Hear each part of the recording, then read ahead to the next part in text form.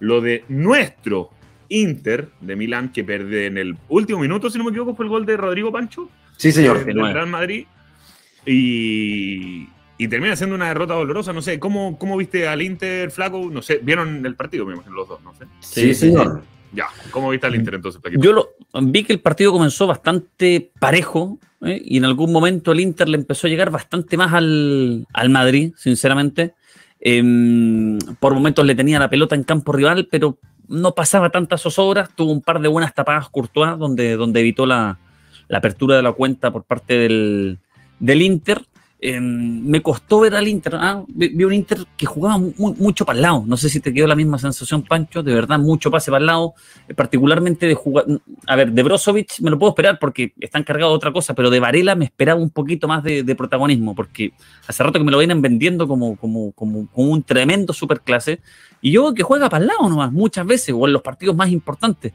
Em, vi que de los poquitos que intentó romper fue Chalanoglu que lo termina reemplazando en el, segundo tiempo. Bueno, a los 65 ingresa, ingresa Arturo Vidal, que en un ratito que, intentó ir para arriba, eh, el Inter se posicionó en campo rival, me queda dando vuelta una jugada ahí del, holandés que, este, que tuvo una buena Eurocopa, ¿cómo se llama? Dancel Dumfries. Eh, sí.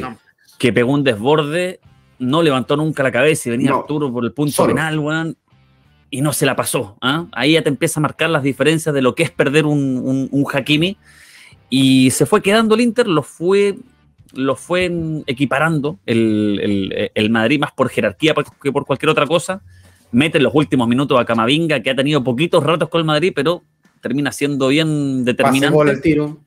Y Rodrigo termina, termina marcando quizás en, una jugada bien extraña porque el, pase previo a la habilitación va entre, entre tres jugadores del Inter y ninguno llega al, al cruce o al cierre.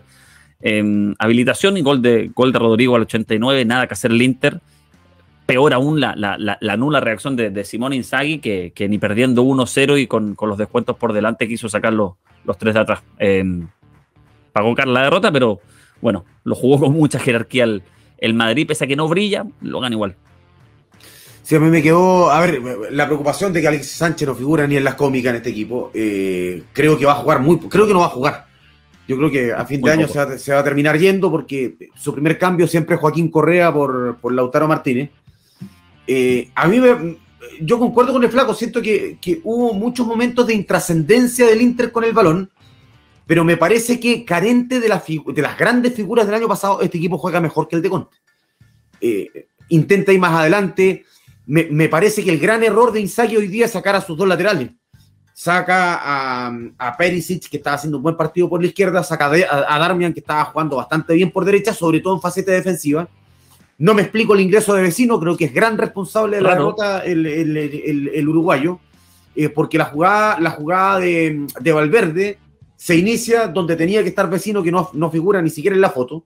Viene ese pase, ese pase globito, eh, no sale nunca Skriniar, eh, Camavinga le, le pega de primera para Rodrigo pero me parece que el Inter mostró cosas que, el año pasado no le veía. Este mismo Inter, con mejores jugadores el año pasado, al Real no le hizo ni cosquilla. Hoy perfectamente lo pudo haber ganado. El tema es que eh, me parece que Courtois tuvo un, partido demasiado bueno. Hay dos cabezazos, uno de Seco que saca abajo y otro de Lautaro Martínez que contiene muy bien el, meta, que para mí es la, figura de la cancha. Eh, Vidal me parece muchísimo más trascendente que Chalanoglu en, eh, en cancha tanto defensiva como ofensivamente, porque juega más al vacío, porque está siempre buscando el espacio. Chalanoglu yo lo veo como un jugador un poco más posicional. ¿No te parecen complementables ambos? Es que no va a sacar a Varela. No lo va a sacar, pero por, eso yo, a ver, a ver, la percepción que me dan estos, en este inicio de temporada es que quizás Chalanoglu y Vidal son dos que van hacia adelante. Sí, total. Con, con características diferentes, pero creo que se complementarían mucho mejor con Varela, que siempre está lateralizando. Un jugador que, nos quieren vender que tiene ese tremendo talento que seguramente en un par de años probablemente la va a recontra romper en Europa.